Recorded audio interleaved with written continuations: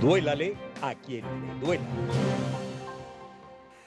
Una cosa es vivir como puedas, con lo que hayas ahí para cubrirte mes a mes, vivir del cheque, como se dice, otra cosa vivir como quieras. Si tienes algo de capital y te arrimas a buen árbol para que buena sombra te cobije, es decir, estés bien orientado, bien entrenado, aprovechando las virtudes de la era digital, puedes vivir como quieras, siendo tu propio jefe, con criptomanía. Venga, sí señores. Criptomanía es la comunidad especializada de trading y educación de habla hispana en los mercados de inversión de criptoactivos, forex y la bolsa de valores. En Criptomanía puedes aprender desde cero sin requerir ninguna profesión previa, solo tu disposición de aprender a proteger y multiplicar tu capital. Además, mientras aprendes tienes la oportunidad de operar junto a traders expertos, quienes te guiarán y compartirán todas sus operaciones de trading para que puedas ejecutarlas junto a ellos. Más de 5.000 personas se han educado en Latinoamérica y Europa con Criptomanía, en conjunto con San Ignacio University de Miami y San Ignacio de Loyola en Perú. Mantente informado siguiendo las redes de Criptomanía, donde conseguirás noticias, información, análisis de mercado, tips y tutoriales de trading. Es Criptomanía, tu club especializado de educación y trading, porque ya lo sabes, ¿no? Una cosa es vivir como puedas y otra cosa siendo tu propio jefe, multiplicando tu inversión con criptomanía. ¡Qué bien! Doctora Blanca Rosa Mármol, ¿cómo me le va? Un fuerte abrazo, ya conectada desde Venezuela con nosotros. ¿Cómo está? Bienvenida. Muy bien, muchas gracias. Gran gusto de verte y de saludar a toda tu audiencia. Muy bien. Mire, este, doctora, lo primero que quería conversar con usted son eh, los contenidos de esta carta que ha publicado el fiscal de la Corte Penal Internacional, Karim Khan, carta que llevó a la sala de asuntos preliminares el régimen dictatorial de Nicolás Maduro, me imagino a través de su fiscal Tarek William Saab, en el que dice o en el que se solicita que en la fase de investigación no intervengan directamente ni las víctimas ni los representantes de los estados que solicitaron la investigación. Es algo así como que, epa, yo le hago daño a Blanca Rosa, pero que Blanca Rosa no tenga arte ni parte en la investigación. ¿Qué me dice usted, doctora? ¿Esto tiene asidero en, en la justicia internacional de derechos humanos? No, realmente no, porque si justamente la justicia se trata de restaurar el derecho que se le ha vulnerado a las víctimas. De manera que es como una manera de eludir o vacunarse, diría yo, para usar una expresión coloquial, contra las pruebas que puedan presentarse, porque la base fundamental en una investigación es indudablemente la participación de la víctima. Bien, entonces, ¿en qué andan? Si le suma eso al hecho de que hace apenas unas horas Delcy Rodríguez, la vicepresidenta del régimen que anda por la Haya, en un asunto relativo al Esequibo, eh, ha aprovechado para hablar con el vicefiscal por el expediente Venezuela 2. ¿En qué andan? A ver. Sí, esta es una situación donde se ve que evidentemente están preocupados porque no hay manera de evitar las sanciones y el castigo por los delitos cometidos y por los delitos de lesa humanidad, indudablemente.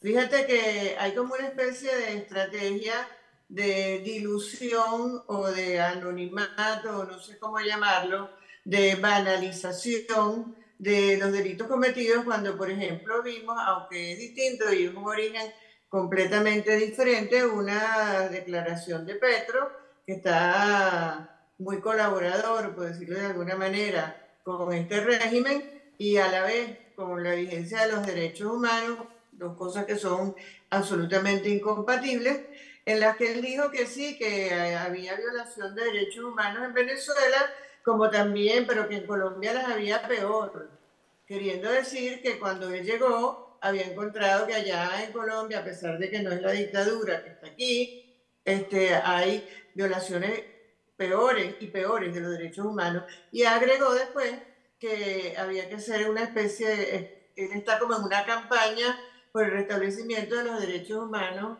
de la vigencia de los derechos humanos en Latinoamérica. Entonces, a eso se suma, porque también lo vi por allí, que este, se decía que eh, decía uno de los funcionarios del régimen, creo que era eh, concretamente Diosdado Cabello, que el fiscal Khan debería inhibirse porque él estaba realmente empecinado con el caso Venezuela y que era tal la predisposición en contra que debía inhibirse. Entonces, como tú te das cuenta, todo lo que hemos hablado va articulado en varios sentidos.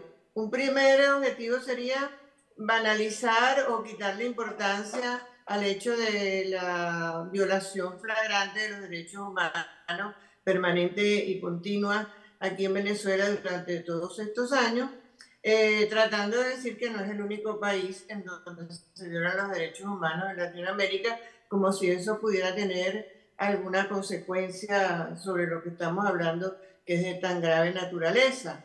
Por otra parte, eh, además de eso, el señalamiento como una predisposición en contra. Y yo diría que ya lo hicieron, eso de castigar, entre comillas, a los funcionarios de más bajo rango, como lo hicieron con el caso de Albán, y para después dejarlos en libertad en virtud de la pena tan baja que les fuera impuesta, y eso los presumían ellos que los iba a liberar de la actuación de la Corte Penal Internacional, pero no fue así. Afortunadamente se dieron cuenta de que el sistema de justicia aquí no ha mejorado absolutamente en nada y más bien todo lo contrario. Yo creo que ellos están expresando con esta actividad, los venezolanos, los funcionarios venezolanos, que están muy preocupados por la responsabilidad de la cadena de mando, porque si no, no estarían en estas gestiones que estamos viendo últimamente que van todas orientadas a que ellos queden impunes, ellos, lo de las cadenas, los más altos en la cadena de más. Sí. Doctora Blanca Rosa Mármol, mire, voy a hacer una pausa. En esa pausa usted me va a hacer un favor. Mire que estamos en vivo. ¿Por qué es que estoy preocupado? Porque le está pegando usted o el sol o una luz de frente, pero que, eh, eh, mire, la está quemando. Se ve usted como Gasparín y usted es de todo menos una fantasmita amigable. No, no, no, no, no. Entonces, póngase, tan, no sé, que no le dé una cosa tan de frente. Voy a cerrar la persiana. ¡Ah, venga! ¡Qué maravilla! La vemos ahora como es. Muy bien, vamos a la pausa. Vamos a la pausa, doctora. Y ya venimos para hablar del tema de la negociación, porque previa a esta negociación, Gustavo Petro es que haya dicho amnistía general.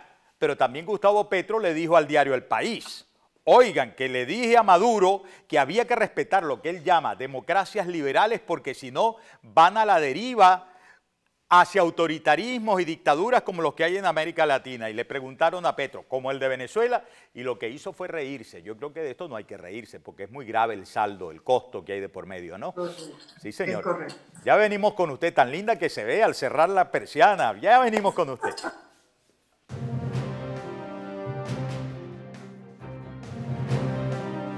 Duélale a quien le duela.